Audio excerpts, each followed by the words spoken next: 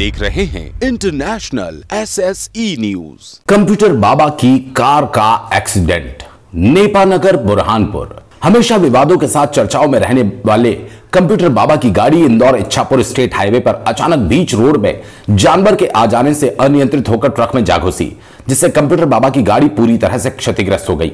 घटना निम्बोला थाना क्षेत्र की है। हादसे में बाबा के साथ वाहन में सवार कई संतों को भी चोटें आई। वहीं कंप्यूटर बाबा बीपी हाई होने से ज़मीन पर ही लेट गए। नेपानगर विधानसभा क्षेत्र के धूलकोट में हो रही पूर्व मुख्यमंत्री कमलनाथ की सभा में शामिल होने जा रहे थे कंप्यूटर बाबा। इसी बीच हुआ हादसा। Bureau report, SSE news, Burhanpur.